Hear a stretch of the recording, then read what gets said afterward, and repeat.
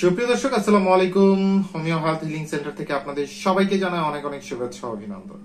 আমি আজকে আলোচনা করার চেষ্টা করব ডেঙ্গু জ্বরের সাধারণ এবং গুরুতর লক্ষণ বা উপসর্গ বিষয়টি নিয়ে মূলত আজকে আমার আলোচনা। আশা করি শেষ পর্যন্ত আপনারা আমার পাশেই থাকবেন। তাহলে চলুন, আর দেরি না করে চলে যাই মূল আলোচনা ডেঙ্গু আক্রান্ত রোগীদের কোনো বিশেষ লক্ষণ দেখা নাও যেতে পারে। সঠিক চিকিৎসা বাড়িতে থেকেই করা সম্ভব। শুধুমাত্র বিশেষ কিছু ক্ষেত্রে রোগীকে হসপিটালে ভর্তির প্রয়োজন হয়। সেই ক্ষেত্রেও এক দুই সপ্তাহের মধ্যে রোগী ভালো হয়ে যাওয়ার পূর্ণ সম্ভাবনা থাকে। এই রোগ সম্বন্ধে সবার সচেতনতা বৃদ্ধি ভীষণ জরুরি। সামান্য কিছু উপায় মেনে চললে ডেঙ্গুর প্রকোপ থেকে আমরা নিজেদেরকে রক্ষা করতে পারি। এই রোগ লোকালয়ে ছড়িয়ে পড়ার হাত থেকে সহজেই নিষ্কৃতি পাওয়া যায়।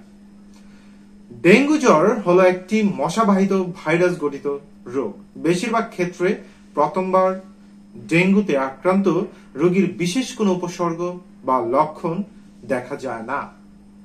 শুধু অল্প কিছু ক্ষেত্রে রোগের প্রভাব গভীর হয়। ডেঙ্গুর সাধারণ উপসর্গগুলো কি তা একটু জানার চেষ্টা করি।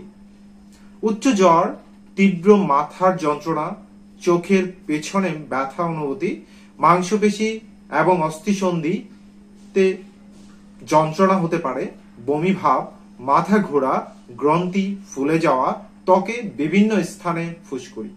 এই উপসর্গগুলো রোগ সংক্রমণের চার থেকে দশ দিনের মধ্যেই দেখা দেয়। সাধারণত দুই থেকে সাত দিন পর্যন্ত উপসর্গ স্থায়ী হতে পারে দ্বিতীয়বার ডেঙ্গুতে আক্রান্ত হলে রোগের ভয়াবহতা বৃদ্ধি পায়। সেই কারণে পূর্বে ডেঙ্গুতে আক্রান্ত ব্যক্তিদের অতিরিক্ত সতর্কতা মেনে চলা খুবই জরুরি। চলুন এবার জানার চেষ্টা করি, ডেঙ্গুতে গুরুতর উপসর্গগুলো কি হতে পারে? প্রচণ্ড পেট ব্যথা, ক্রমাগত বমি হওয়া, মাড়ি বা নাক থেকে রক্তপাত, প্রস্রাবে এবং মলের সাথে রক্তপাত, অনিয়ন্ত্রিত পায়খানা ত্বকের নিচে রক্তক্ষরণ যা ক্ষতের মতো দেখাতে পারে, দ্রুত শ্বাস প্রশ্বাস ক্লান্তি, বিরক্তি এবং অস্থিরতা। ডেঙ্গুর জীবাণু মানুষের শরীরের রক্তনালীকে ক্ষতিগ্রস্ত করে। এটা আমাদের মনে রাখতে হবে। ফলে যেটা হয়, সেটা হচ্ছে রক্তনালীতে ছিদ্র তৈরি হয়। রক্ত প্রবাহে ক্লট তৈরির যে কোষগুলি, যেমন প্লাটিলেট তার সংখ্যা ক্রমাগত কমে যেতে থাকে। এর জন্য মানুষের শরীরের বিভিন্ন অংশ থেকে রক্তপাত যে কোনো অঙ্গের ক্ষতি এবং শেষ পর্যন্ত রোগীর মৃত্যু হতে পারে। তাই বলব, রোগীর শরীরের গুরুতর উপসর্গগুলির কোনো একটি দেখা দিলে অতি অবশ্যই দ্রুত ডাক্তারের সাথে যোগাযোগ করা উচিত। অন্যথায় রোগীর প্রাণ সংকট হতে পারে। আশা করি আজকের ভিডিওটি আপনাদের ভালো লেগেছে। যদি ভালো লেগে থাকে, অবশ্যই শেয়ার করবেন এবং পরবর্তীতে কোন ভিডিওটি চান, অবশ্যই জানাবেন। সবাইকে অসংখ্য ধন্যবাদ।